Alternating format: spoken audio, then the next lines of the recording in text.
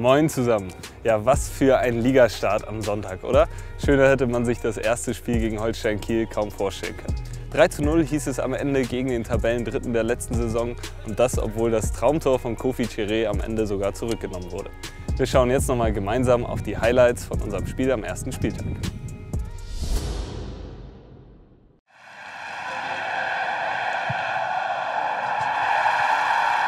Glaube, äh, am besten hat uns gefallen, wie wir gegen den Ball agiert haben. Also wenn man das Spiel Revue passieren lässt, haben wir so gut wie keine Torchancen zugelassen.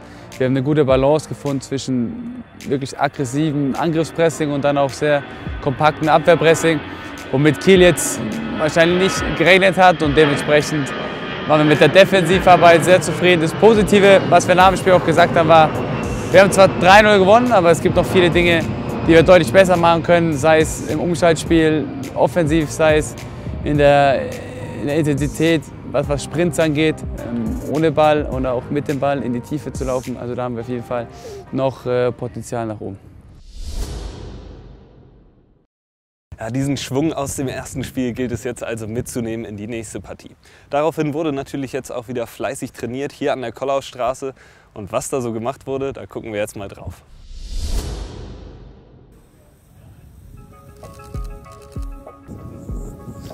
Nach dem Auslaufen am Montag und einem trainingsfreien Dienstag starteten die Boys in Brown gut gelaunt am Mittwoch in die neue Trainingswoche und somit in die Vorbereitung auf die Begegnung im Erzgebirge.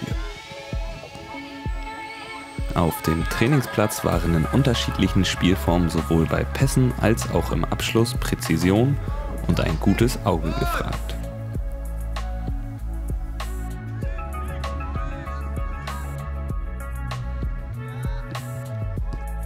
Nach einer weiteren Einheit am Donnerstag, in der auf dem Kollaurasen unter anderem ein kleines Turnier ausgespielt wurde, war für Freitag und Samstag der Feinschliff mit Blick auf das Aue-Spiel vorgesehen.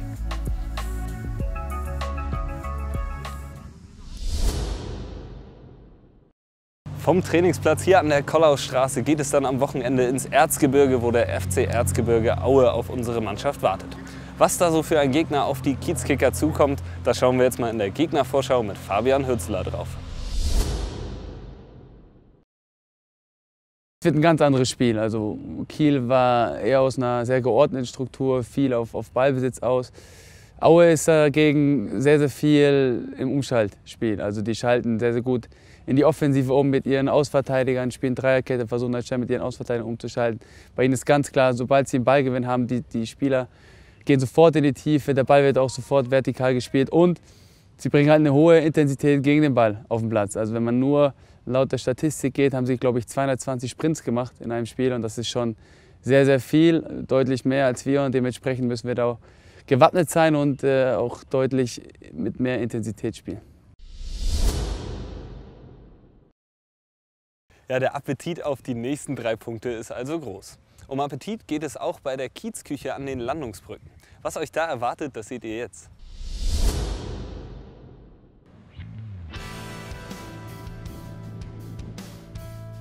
Vor zwei Jahren brachte der FC St. Pauli den Launch der ersten Produktlinie der Marke Kiezküche an den Start. Unsere eigene Foodmarke hat jetzt einen eigenen Store mit Außerhausverkauf an den Landungsbrücken. Bekommen könnt ihr bei uns die ganz, ganz klassischen Imbissleckereien, ehrliches Essen für auf die Hand und auch zum Hieressen. Ihr habt ähm, Pommes, Schnitzel, Fischbrötchen, Currywurst natürlich und ähm, wir haben ja super Rindskrakauer, wo auch wirklich nur Rindflaschen verarbeitet wird und leckere Suppen kriegt ihr bei uns.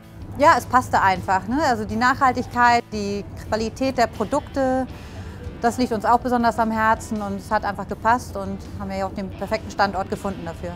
Also kommt gerne mal vorbei. Den Kiezküche Store findet ihr an der Brücke 5 bei den St. Pauli Landungsbrücken in Hamburg. Wie immer schauen wir jetzt zum Ende der Folge noch einmal auf die weiteren Themen aus den letzten Tagen rund um den FC St. Pauli. Am Montag, den 2. August, laden der FC St. Pauli, der Fanladen St. Pauli und Fanräume e.V ab 18 Uhr zu einer Gedenkveranstaltung anlässlich des Europäischen Holocaust-Gedenktag für Sinti und Roma am Hannoverschen Bahnhof in Hamburg ein. Alle Infos dazu gibt es auf fcstpauli.com. Am ersten Spieltag präsentierte sich der Millantor-Rasen nach einem Rasenwechsel in der Sommerpause von seiner besten Seite. Im Format Reingeluschert haben wir uns mal angesehen, wie man so ein Geläuf optimal auf einen Spieltag vorbereitet. Den Text findet ihr in der ersten Viva-Ausgabe der neuen Saison sowie auf unserer Homepage. Rote Karte gegen rechts. Gemeinsam mit unserem Partner Fritz Cola sammeln wir mit einem Strauß an schicken Sachen Geld für eine bunte und offene Gesellschaft. Alle Gewinne gehen direkt an Exit Deutschland und unterstützen dort Ausstiegswillige der rechten Szene. Mehr dazu findet ihr über den Link in der Beschreibung. Zusammen mit unserem Partner Lichtblick setzen wir uns für den Klimaschutz ein. Wie und wo wir gemeinsam CO2 vermeiden, verringern und so unseren CO2-Fußabdruck verkleinern können, erfahrt ihr direkt bei Lichtblick über den Link unter diesem Video.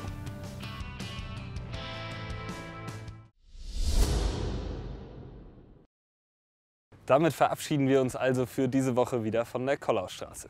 Wir hoffen jetzt auf die nächsten drei Punkte bei Erzgebirge Aue. In der nächsten Woche melden wir uns dann wieder mit der Vorschau auf die erste Runde im DFB-Pokal beim 1. FC Magdeburg. Bis dahin, passt auf euch auf und Forza St. Pauli.